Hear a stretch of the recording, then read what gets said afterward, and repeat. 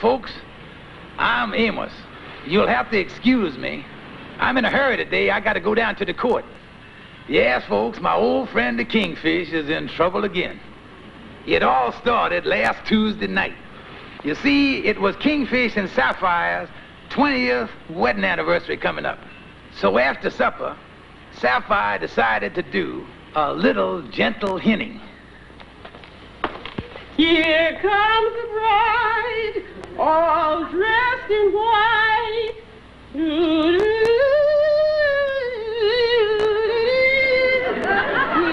comes the bride. Honey, would you cut that out? The neighbors will think the cat fell in the washing machine again. what is it now? George, don't you know what day tomorrow is? Well, the day being Monday, taking a wild guess, I'd say tomorrow would be Tuesday. George, don't you remember what happened 20 years ago tomorrow? Twenty years ago? Oh, yeah. That's the day they sunk the Maine. That's the day we was married. Well, I knew there was some sunk. You is just the meanest man alive, George. Don't nothing ever mean nothing to you. George Stevens, you just ain't got no heart. But Sapphire, hmm, something must have happened to the old gal. She can't on there like Tallulah Bulkhead. oh, my head.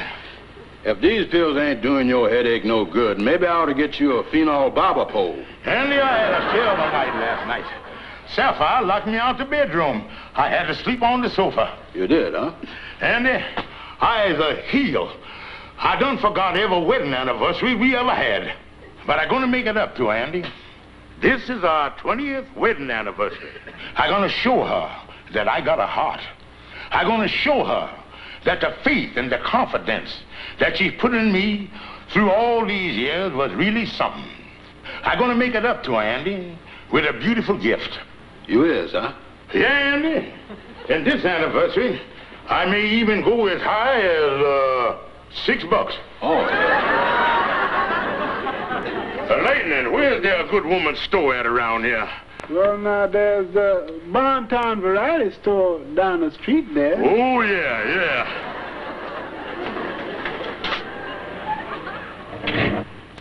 Never miss it.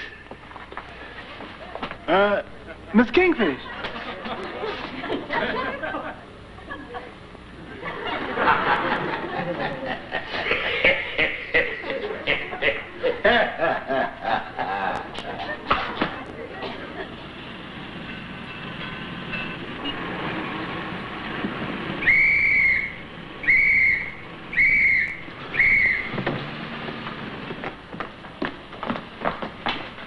The cop must have spotted us. We're sitting ducks if we're caught here now. Where's the gun? In here. What'll we do? Out the back way.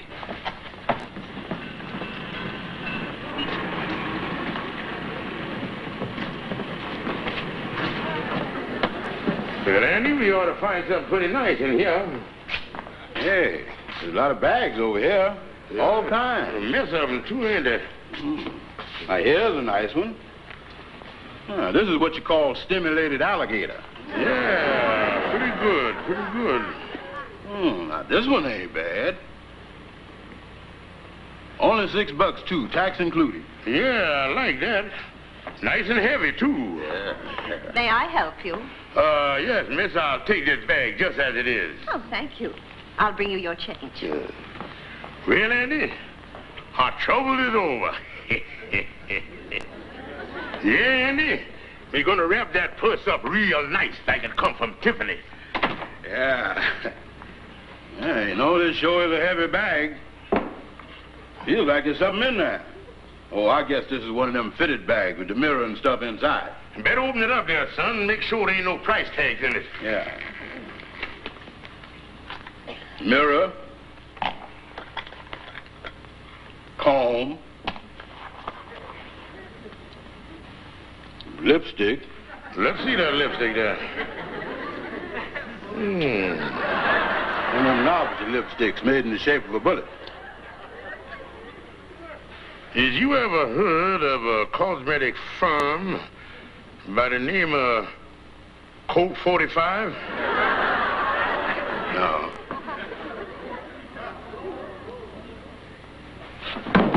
Holy smokes! A pistol! Yes, he's full of them Colt 45 lipsticks. Andy. No use in getting panicky here until we make sure of our ground.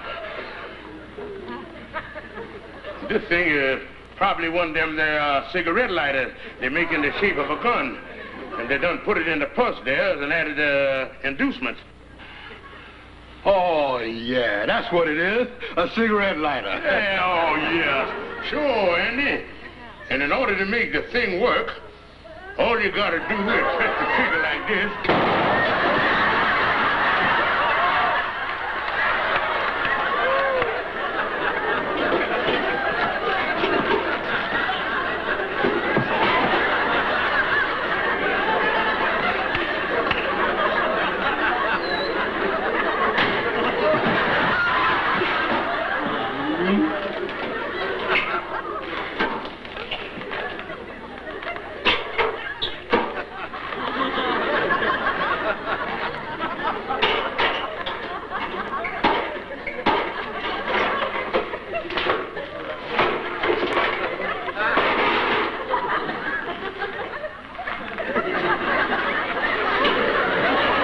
Yes, son, over on the desk there.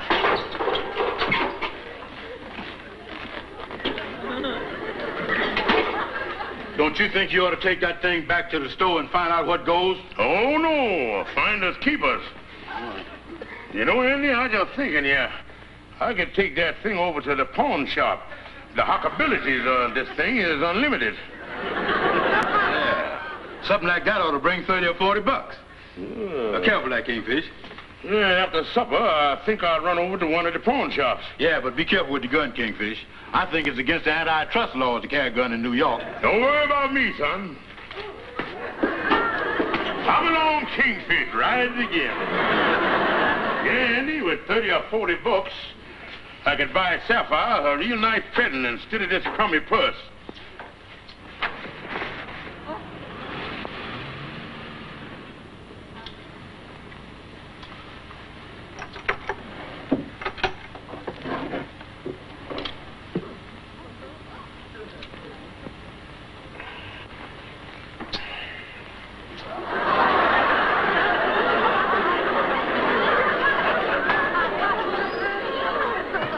George Stevens, ain't you going to help me with the dishes even on our 20th anniversary? Look, honey, I gotta go out. It's about our anniversary. What do you mean it's about our anniversary? I can't tell you, but you're gonna see something tonight that's gonna make your eyes pop out.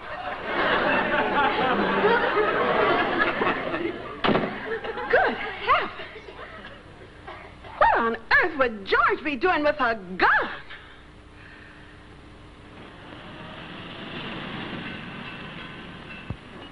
I don't care what you say, Frank. I'm going to close up if you can't come over here. I'm not going to stay here alone. There's been too many robberies in the neighborhood lately to suit me. Why, just last night they tried to break into the Lamode dress shop. All right. I'll be right home.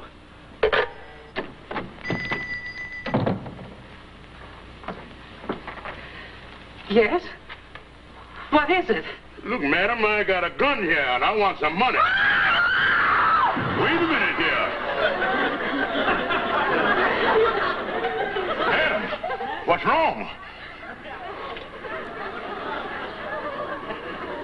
Well, of all things.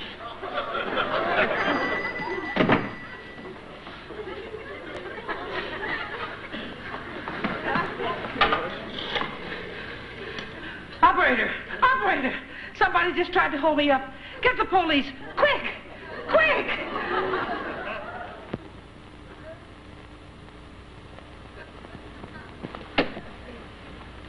Hello there, Andy. Come on in.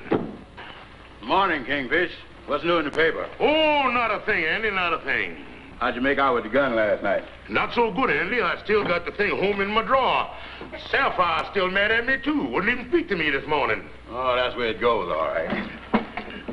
Hmm. I see we had a little excitement around here last night, right here in our neighborhood, too. That's so? Yeah, over at Anderson's pawn shop. Some fella tried to hold it up. That's a funny coincidence. I was in Anderson pawn shop myself last night. I hope they get the dirty crook. It says, yeah, when the assailant pulled the gun on the proprietor, Miss Anderson, she fainted. She fainted when I was in there, too. She must do that a lot. Oh, but I think they're going to catch the fellow all right. You got a good description of it right here. According to Miss Anderson, the hold-up man was wearing a checkered vest, cutaway coat, and a gray fedora. Andy, holy smoke. They think I was the one who robbed the pawn shop. Why don't you call them up and tell them they done made a mistake? Tell them you found the gun in the purse. Yeah, that's the thing to do, all right. Operator, operator, uh, give me the police. Is you out of your head, stupid? You think they're gonna believe a cockeyed fool story like that? The next thing I know, I'll be up the river, sitting in sanitary confinement. Kingfish, when you throw that purse away, you ain't got nothing to back up your story. Well, why did you let me throw it away, you big dummy? Why did I? Well, what you gonna do? I don't know, but I'm getting out of here. Uh, Mr. Kingfish, watch out for the slippery steps. Oh. Is your hurt, Kingfish? No, never mind, Andy. A broken back don't mean a thing at a time like this.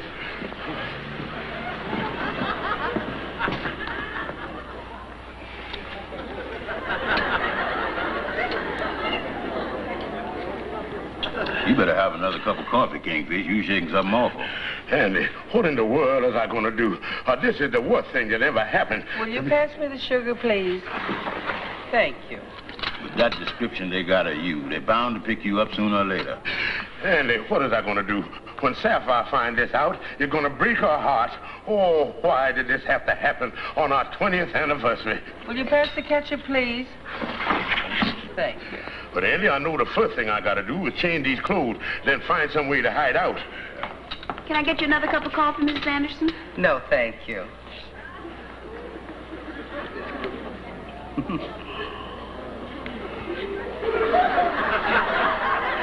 What's wrong?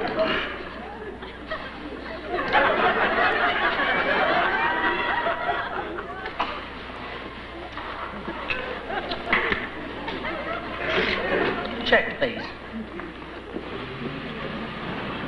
Hey, you. Who, me? Yeah, you. Oh, what is it? You got a match? He wants a match.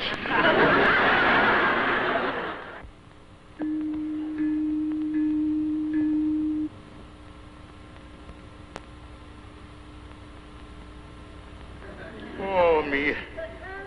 Four o'clock. I ain't slept a wink all night. Oh, what is I gonna do? The police is after me. They'll never believe I is innocent. I'm gonna have to run away. Someplace where I can lose myself forever. Ah, the Foreign Legion. The French Foreign Legion.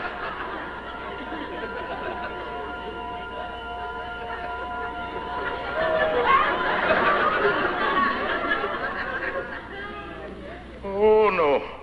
I is allergic to camels. I could be a beachcomber.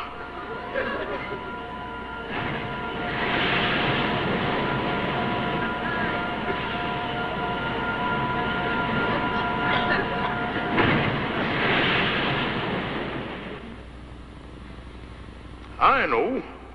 I'll sail the seven seas.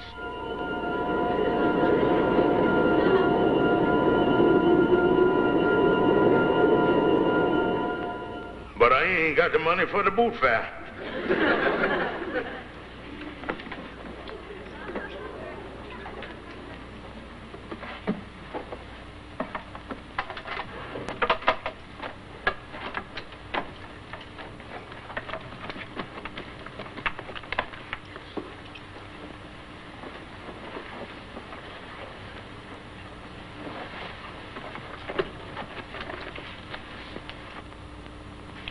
George Stevens, what is you doing? Listen, honey, I ain't got time to go into no details. I got to get out of town. I'll write you. George Stevens, you come right back here.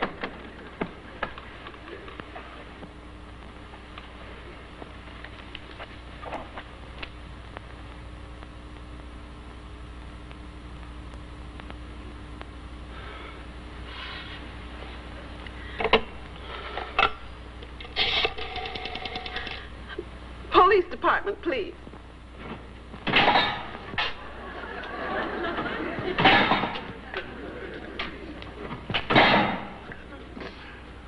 Oh, what wouldn't I give to hear a wooden door slam again? Stevens, are you there? Yes, I ain't going nowhere. You got a visitor. A visitor?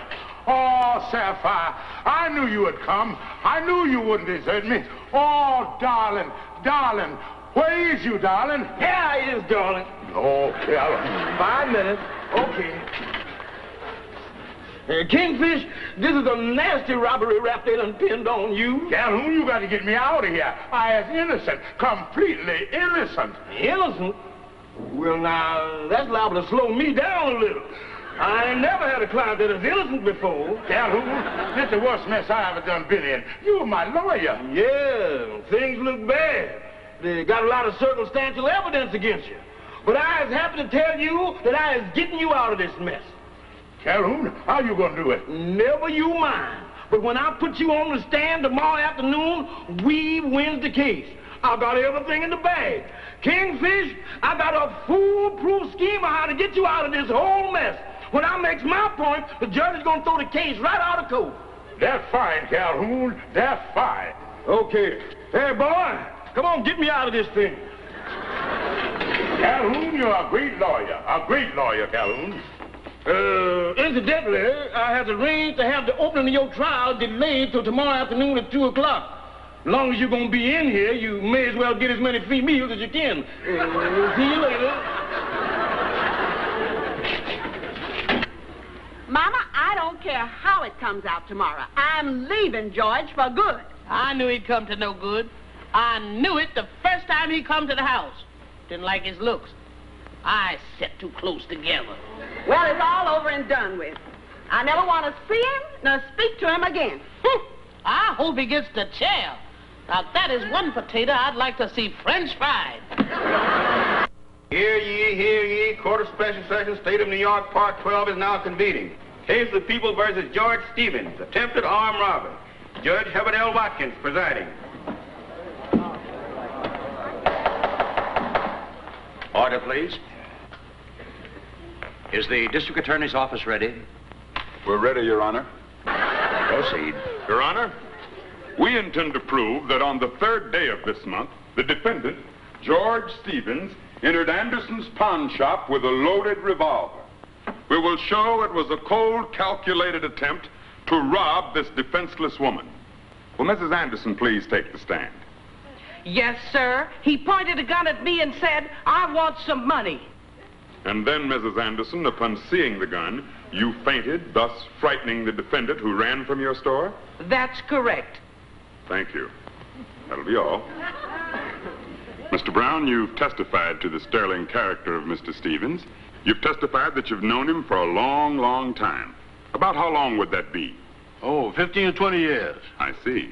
Now, would you mind telling the court under just what circumstances you met the defendant? Well, about 18 years ago at a carnival. I reached in my pocket to get my wallet and shook hands with Mr. Stevens.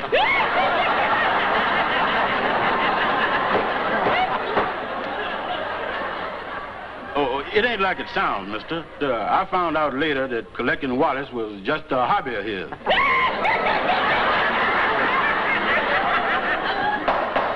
Order, please. Continue, please. No further questions, Your Honor. Your witness, Counselor. Go ahead and question Calhoun. Ask him where I got the gun from. Now, wait a minute. I'm the lawyer here. We don't need him. I got the case in the bag anyway. No questions, Your Honor. You may step down, Mr. Brown. Yes, sir. Thank you.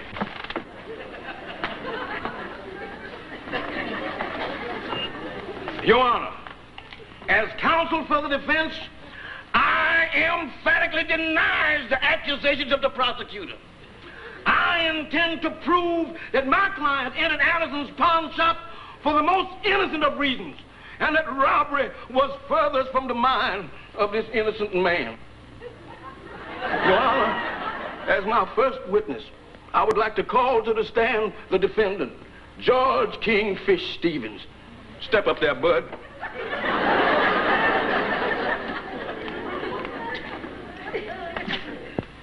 Do you swear to tell the truth, the whole truth, nothing but the truth, so help you? I do. Your full name is George Kingfish Stevens? Uh, it is. At this point, Your Honor, I would like to show that my client had no intentions of committing a holdup. And I intend to prove that point beyond the slightest shadow of a doubt. Your Honor! When my client went into that pawn shop, he went in there with a gun that could not possibly be fired under any circumstance whatsoever. And right here and now, I intend to offer conclusive proof to that statement. Your Honor, you can pull the trigger of this revolver as much as you please, and it will not.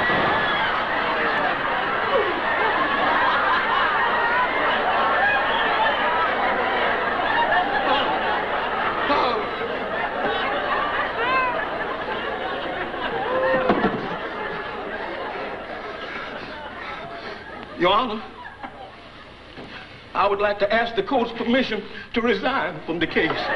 Bailiff, remove the counselor for the defense from this courtroom.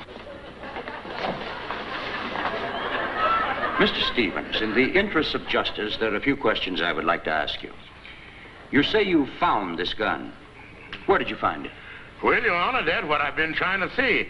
I, I bought the purse for my wife's anniversary, and the gun was in the purse. So I recited that I'd hock the thing so I could buy my wife a real nice present. Your Honor, this is obviously a trumped up and ridiculous story. You're out of order. Where is this purse now? Well, uh, I done throwed it away. Well, Mr. Stevens, you may or may not be telling the truth, but in the absence of this purse, I'm, I'm afraid you haven't got much of a defense. Yes, that's true, Your Honor. Well, we've had a long day. I hereby recess this court until 10 o'clock tomorrow morning, at which time I will give my decision in this case. Court dismissed.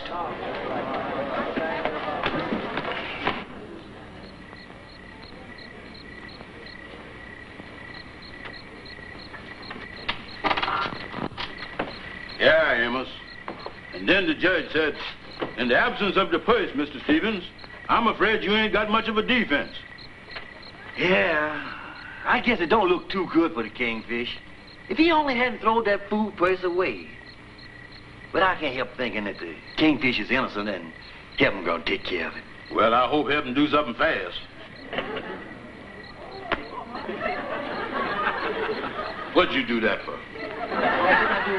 Conk me on the top of the head with your fist. And I didn't conk you on the head with my fist. Well, somebody done conk me, and there ain't nobody here but us two. Oh, don't be silly, Andy. It's only a figment of your imagination. Yeah, I guess that's right. Now you've done it again. Cut it out. And I didn't do nothing. This is a fine time to be playing games when the kingfish is about to go to jail just cause he throwed away a purse. Holy smoke, a purse. Amos, that's the purse the kingfish throwed away. Amos, that heaven sure gives service. Come on. And so, from the contents of this bag, it appears that Mr. Stevens was telling the truth.